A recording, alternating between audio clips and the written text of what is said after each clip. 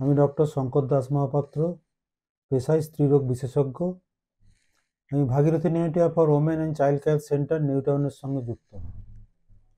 আজকে যে বিষয়টা নিয়ে আলোচনা করব, সে বিষয়টা সবাই মহিলারা মনে করেন ওনারা সব কিছুই জানেন। এটা হচ্ছে কি মেনস্ট্রুয়েশন নিয়ে আলোচনা করব, মাসিক নিয়ে আলোচনা করব। মাসিক ব্যাপারটা কি? মানে মাসিক থেকে আমরা একটা মাসিক যদি আমরা মাসিকের হিস্ট্রি ট্র্যাক করি, তাহলে আমরা মহিলার ওই সম্বন্ধীয়, রোগ সম্বন্ধে সব কিছু জানতে পারি। এখন আমরা জেনে নেব মাসিক ব্যাপারটা কি। মাসিক ব্যাপারটা কি, প্রত্যেক মাসে আমাদের এই জরায়ুর যে দেখতে পাচ্ছেন, জরায়ুর একটা ভিতরের আবরণ থাকে যাকে এন্ডোমেট্রিয়ামটা বলে, থাকে। সেই এন্ডোমেট্রিয়ামটা যদি শেডিং হয়ে যায়, তাকে বলা হয় মাসিক। মাসিকের সময় মহিলাদের শরীরে নানা রকম পরিবর্তন হয়। এই হরমোনের পরিবর্তনের সময় মাসিকের প্রায় চোদ্দ পনেরো দিনের মাথায় গিয়ে একটা ডিম্বাণু তৈরি হয়।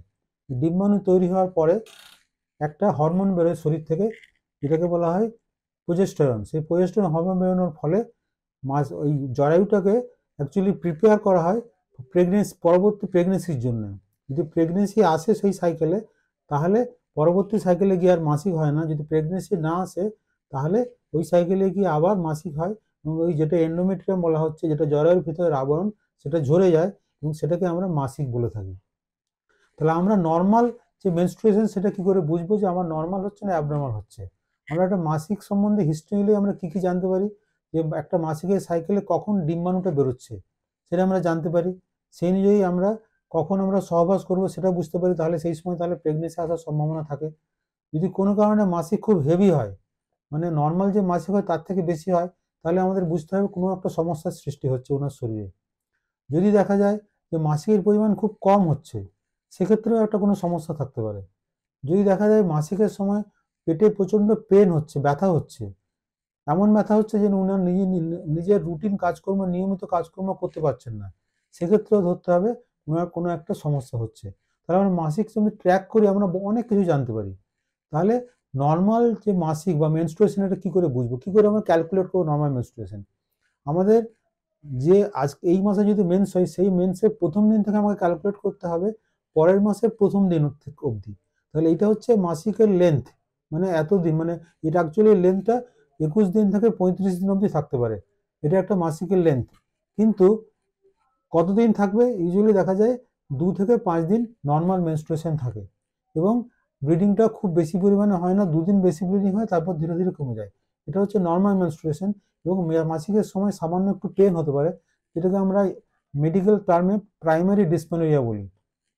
যদি আমার পেনটা অত্যধিক হয়, তাহলে সেটা সেকেন্ডারি ডিসপেনোরিয়া কোনো রোগের কথা আমাকে ভাবতে হবে।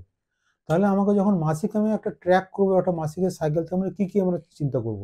প্রথমে চিন্তা করতে হবে যে আমার মাসিকটা নিয়মিত হচ্ছে কি হচ্ছে না। আমি লিখে রাখব ক্যালেন্ডারে যে আমার মাসিকটা তিরিশ দিন পরে পরে হচ্ছে বা কুড়ি দিন পরে পরে হচ্ছে বা পঞ্চাশ দিন পরে পরে হচ্ছে।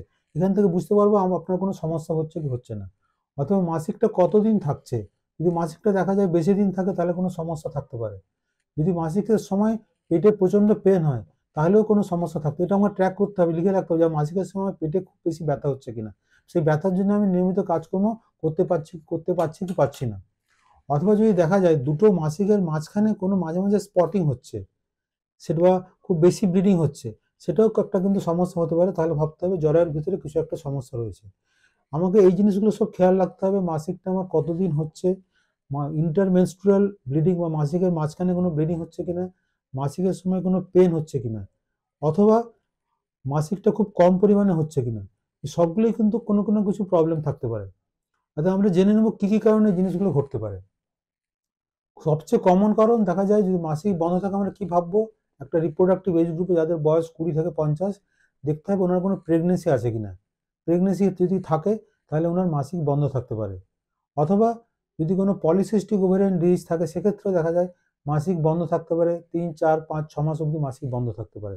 অথবা মাসিক খুব কম পরিমাণে হতে পারে। সেক্ষেত্রে আমাদের সন্দেহ করতে হবে আপনার কী রোগ আছে।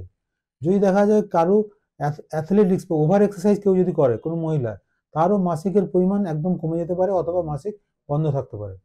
যদি কোনো কারণে ওভারি ফাংশন করতে না না পারে, তাকে বলা হয় প্রিমেচিওর ওভারিয়ান ফেলিওর, সেক্ষেত্রেও মাসিকের পরিমাণ কমে যেতে পারে অথবা মাসিক পুরোপুরি বন্ধ হয়ে যেতে পারে। এই কারণে মাসিক অনিয়মিত হতে পারে।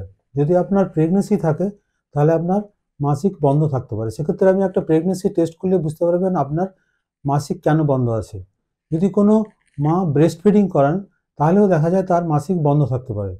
যদি কোনো মহিলার পলিসিস্টিক ওভারিয়ান ডিজিজ থাকে, সেক্ষেত্রে মাসিক কম হতে পারে অথবা মাসিক বেশি হতে পারে অথবা মাসিকের লেন্থ অনেক বেড়ে যেতে পারে। এবং সেই ক্ষেত্রে অনেক সময় মাসিক অনেক বেশি পরিমাণে হতে পারে, সব কিছুই হতে পারে। অনেক ক্ষেত্রে দেখা যায় যেসব মহিলারা খুব বেশি ওভার এক্সারসাইজ করেন বা যারা অ্যাথলেট তাদের অনেক সময় মাসিক পুরোপুরি বন্ধ থাকে।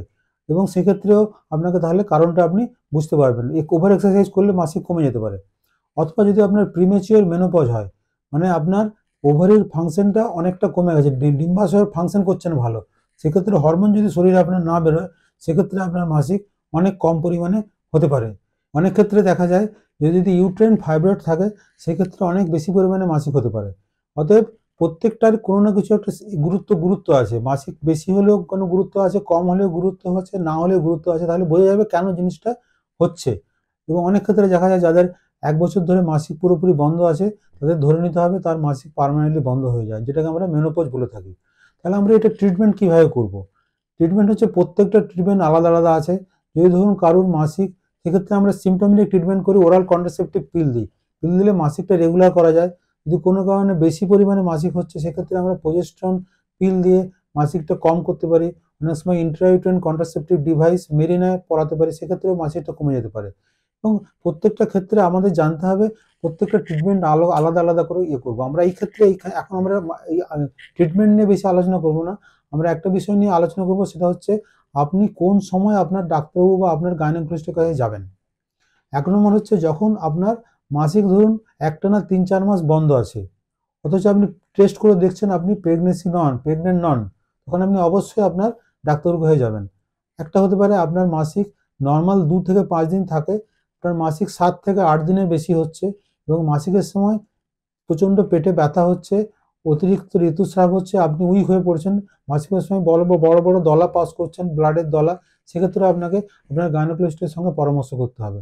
যদি দেখা যায় আপনার মাসিকের সঙ্গে আপনার মাসিক বন্ধ আছে বা আপনি খুব মোটা হয়ে যাচ্ছেন, আপনার গা, হাতে, পায়ে লোম বেরিয়ে গেছে, সেক্ষেত্রে আপনি আপনার ডাক্তারবাবুর কাছে যাবেন। জানার জন্য অ্যাকচুয়ালি আপনার কী ট্রিটমেন্ট করা দরকার? অথবা আপনার যদি মাসিকের সময় খুব পেটে ব্যথা হয়, সেক্ষেত্রেও আপনাকে ভালো করে তার ইনভেস্টিগেট করাতে হবে। তার মানে আমরা কি বুঝতে পারছি? মাসিক একটা খুব ইম্পর্ট্যান্ট ব্যাপার।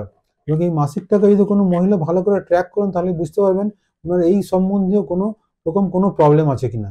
অতএব এই আমরা প্রথমে যেটা বলব সেটা হচ্ছে আপনারা সবসময় মাসিকের ভালো করে ট্র্যাক ট্র্যাকিং করবেন যে আপনার মাসিক কি হচ্ছে অ্যাকচুয়ালি এই ট্র্যাকিং করলে আপনারা বুঝতে পারবেন আপনার মাসিকে কোনো প্রবলেম আছে কিনা, তার থেকে আপনার কোনো রোগের সৃষ্টি হচ্ছে কিনা। যদি আর্লি ডায়াগনোসিস করা যায় জিনিসটা, তাহলে কি হয়? আর্লি ট্রিটমেন্ট হয় এবং খুব দ্রুত রোগ নিরাময় করা যায়। আপনি যত দেরি করে ডায়াগনোসিস করা হবে, তত আপনার রোগের সম্ভাবনা বাড়বে, আপনার ক্ষতি হওয়ার সম্ভাবনা বেশি থাকবে। অতএব ট্র্যাকিং করুন এবং আপনার বাড়িতে যদি কোনো বাচ্চা মেয়ে থাকে, তাকেও ট্র্যাকিং করবেন সবসময়। বাচ্চা মেয়ে সবসময় ভালো মতো জিনিসটাকে ট্র্যাকিং করতে পারে না। আপনার জিনিস ট্র্যাকিং করলে ইজিলি আর্লি ডায়াগনোসিস এবং ট্রিটমেন্ট করতে হবে। আমাদের জানতে হবে prevention is always better than cure thank you very much for patient hearing আমি নিশ্চয়ই আপনাদের কাছে আবার নতুন ভিডিও নিয়ে আসব।